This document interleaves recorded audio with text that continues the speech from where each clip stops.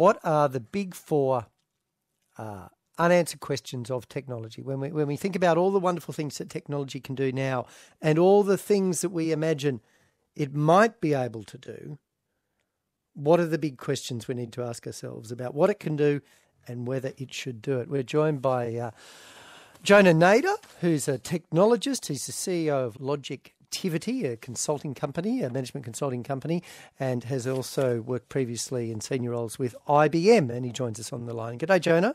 G'day, James. Thank you very much for turning your mind to this uh, to this question. Was it hard to come up with four, or hard to get it down to well, four? exactly. Uh, there are actually hundreds, if not thousands, of uh, unanswered questions, but uh, we came up with four for just enough for a Sunday afternoon. All right, good. So, what do you think the first one is? The first one is looking at how we can partner up with nature a little bit better. At the moment, we're good at uh, developing products that we manufacture and destroy the earth, as opposed to how can we augment nature. So I call this bio-augmentation. So, Mm. for example, if you're walking through the park and the park is quite dark, you could complain and the city council might put up some lights. But why can't we, through bio-augmentation, ask the trees to glow for us? Is that possible? Well, we know that in nature such things are possible. For example, in the darkest depths of the sea, we know that there Mm. are fish that can flash perhaps as brightly as a camera could flash. And there are things that do glow. So, what we are saying is how do we merge or marry certain technologies to suit us a little bit better? Okay, so if we have specifically grown types of wheat or or created types of uh, dogs, I mean, dogs have been bred for specific attributes, haven't they? Why can't we do this? You're suggesting with trees. and perhaps even the fruit themselves. Now, at the moment, do you eat an apple because you like the taste of apple, or do you think, oh, I need fiber and I need some vitamins and minerals and so on? And so, is your salad a joy or a prescription from a doctor? In which case, why not produce a fruit, I don't know what we'd call it yet, that might have the properties of apple, banana, cherries, and a few other things and be done with it, as perhaps some farmers are trying to produce rice that has more nutrients in it so that those who are poor and can't afford anything else are getting a bit more than just rice, or even farm uh, products that can repel uh, pests and uh, which will alleviate insecticides. Another idea might be not only glowing trees, but for example, lawn that grows but stops growing. At the moment, just Wouldn't that be good? well, imagine how many people get out on the weekend and mow their lawn. Do you know. know. that the lawnmower is 11 times worse than a motor vehicle per hour in terms of pollution? Is it? So here we are worried about car pollution, but lawnmower pollution is absolutely huge. Plus, you know, the estimation of the the fuel that is spilt and so on, the uh, dumping of the grass clippings, the noise pollution, the air pollution, the fuel. So if we can have grass that grows and stops, then we don't ever have to mow the lawn again. So I guess when you first mentioned that, it all sounds, you know, you could say, oh, it's a, uh, it's a great gimmick, isn't it? But on the other hand, as you um, uh, say, a lot of these things are already been done, such as the rice with added nutrients. Um, uh, grain has been been uh, bred with specific characteristics, as are as are many other things. So it could actually be done in a very sensible way that isn't sort of gimmicky and and you know fashion driven at all, but is and uh, helps us to use, or I guess to live in a more sustainable way.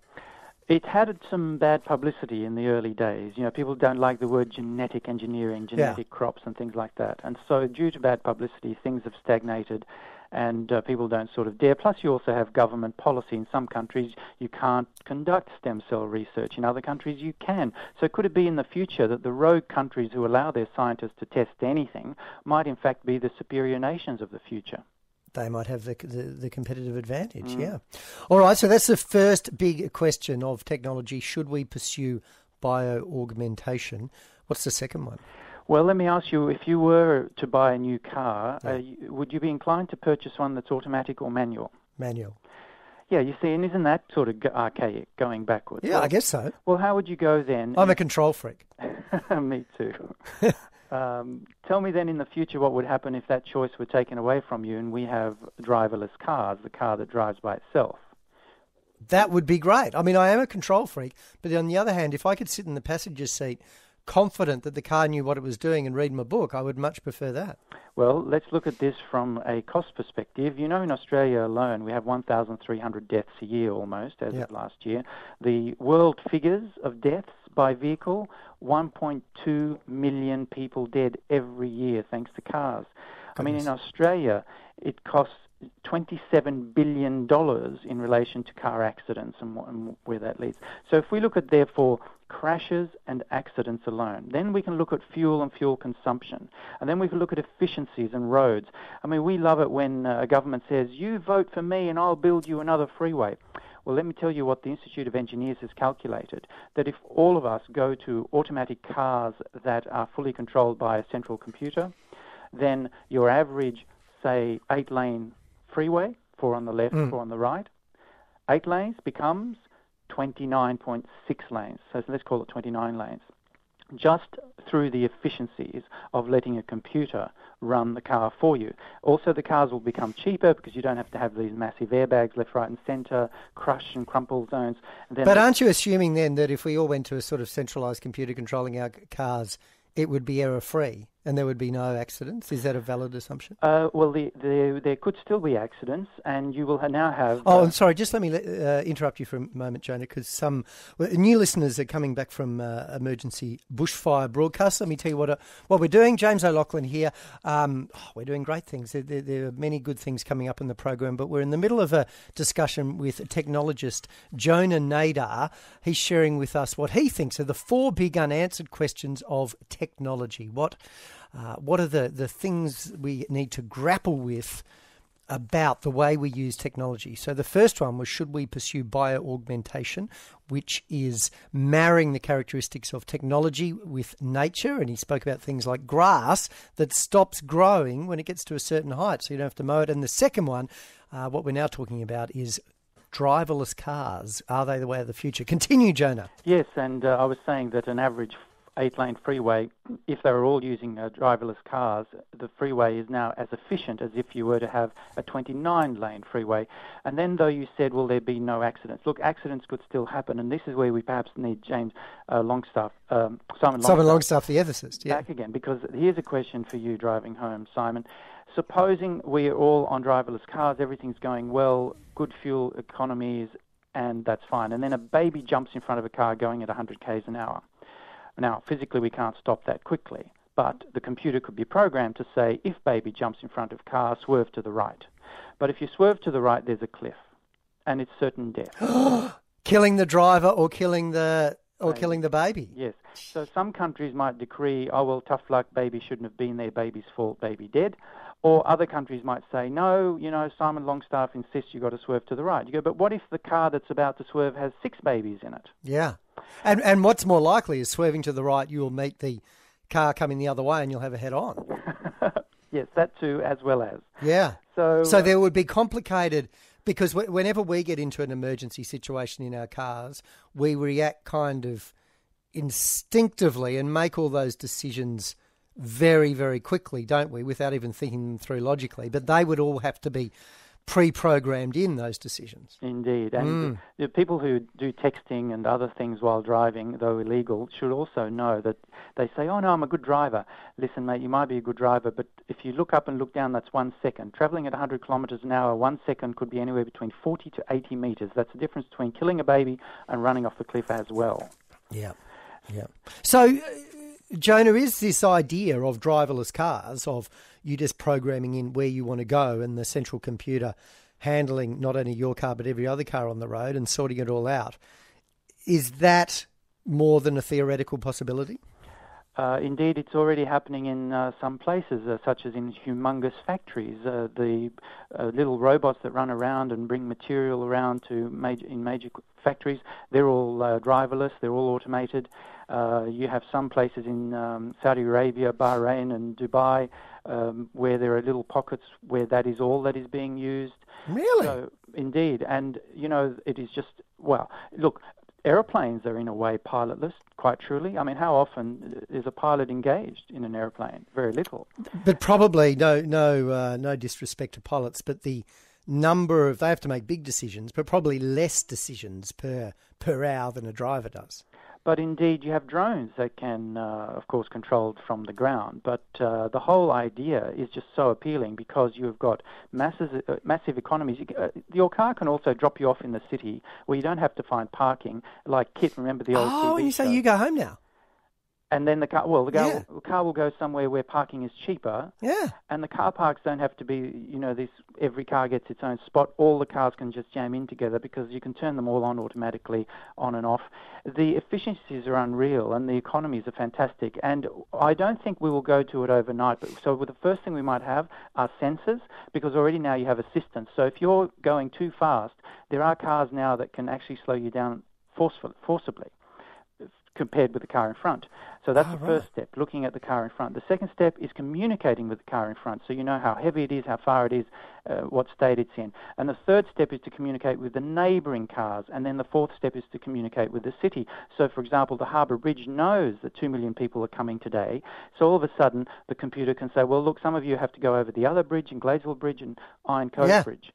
So the efficiencies are amazing. I think this is a more than well look google already has a driverless car that it's been experimenting with and that car is so amazing that it can actually bypass uh, obstacles thrown in its way And as long, as long as people get over the initial hump of being totally freaked out when they look in a car and see no one sitting in the in the driver's seat, after we get over that, I think it'll be fine. indeed Um, that's very very interesting. So, uh, Jonar, what is the third big question, uh, big unanswered question of technology? Look, electricity that we use and love is so old fashioned. It's all band aid. It's a wonder the whole thing still works and it costs so much and destroys the planet. So, what we have to look at is what's next. And everyone thought that um, solar panels and X solar energy, and you know, there are now farmlands, massive farmlands, on which 40,000 massive solar panels, each one the size of a car in in uh, like area, and you think that is still just so patchwork. It is still so funny. We've got to move away from thinking that solar energy means we stand up like a guana or a little bird looking up at the sun saying, please give me some heat, and actually think like the sun thinks and work like the sun works and understand how nuclear fusion is what the sun does, and therefore learn from the sun and develop nuclear fusion on Earth so that we can produce massive energy boosts. Not nuclear fission, which is the dirty stuff. Nuclear fusion takes hydrogen and implodes them, and the byproduct, therefore, is helium.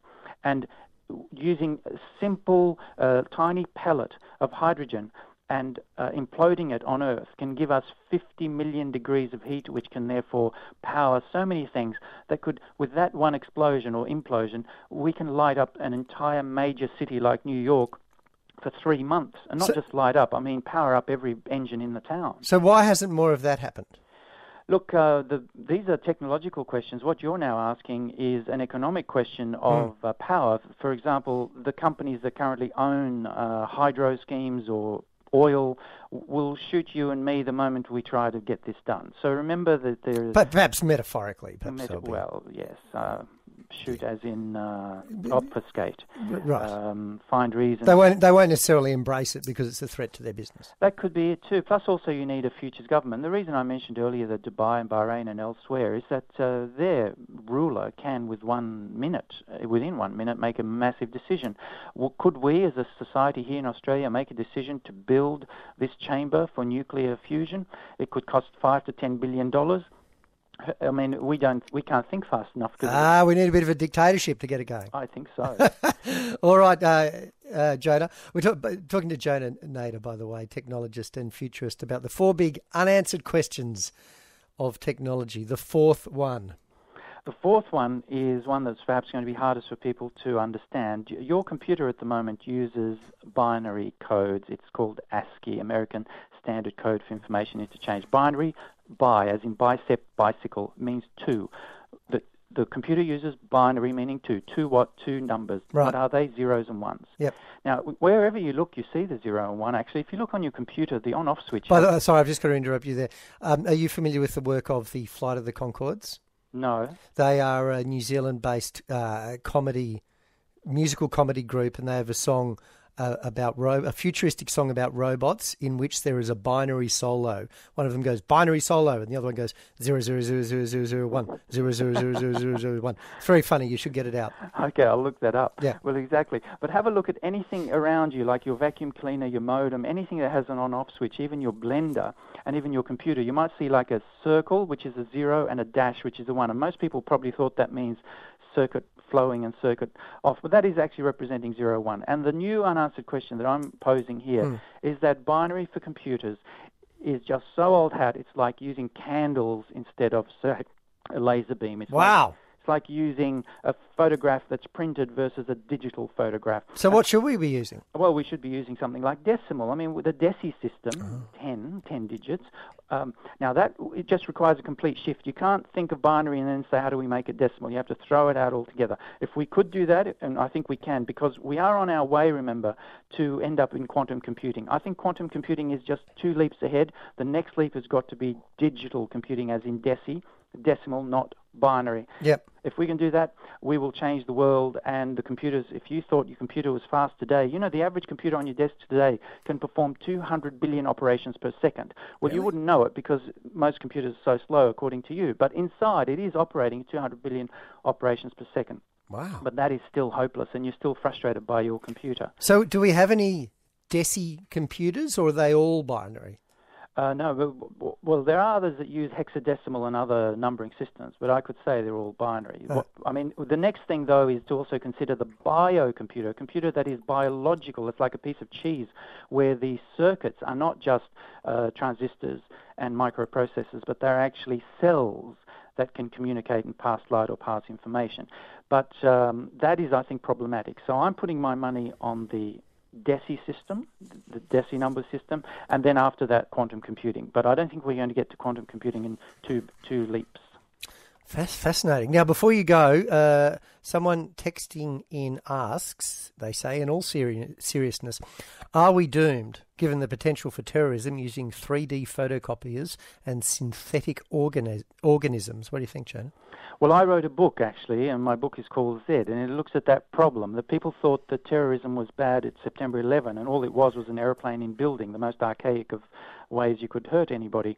Uh, my book looks at three called tri-technology terrorism. If you, if that same tech terrorist instead of using an aeroplane, had biotech, nanotech, and chemical tech, and then looked at genetic engineering and, could, say, kill everybody with brown eyes and kill you specifically under your DNA. Is that what the question they're asking? I think the future terrorist, indeed. You know what Hitler said? He said, What we don't have with technology, we must make up with willpower. So imagine what Hitler would do if he did have the technology and the willpower. On that cheery note, thank you very much for your time, Jonar. That was really provocative and interesting. Much appreciated. Thank you. Bye, James. Jonar Nader, who's a technologist, CEO of Logictivity.